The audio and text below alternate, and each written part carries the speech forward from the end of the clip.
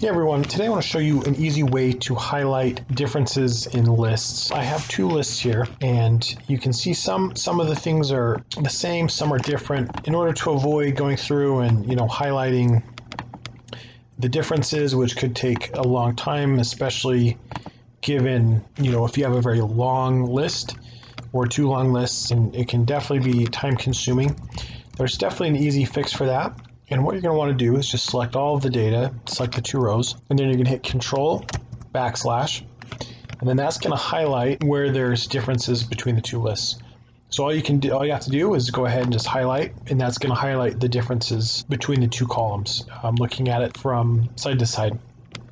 One thing to note here, even though orange is here, we, there is an extra space at the beginning, so you're going to want to make sure that there's not spelling errors or there's weird gaps or other issues with your data as you do this. So it's still going to be highlighted there because we did manually highlight it. Again, it's super easy fix, a super easy solution to again identify the discrepancies between the two lists. Hopefully this makes sense. Please let me know if you have any questions, any concerns with this solution, and remember to like and subscribe to the Excel guy. Thanks and have a great day.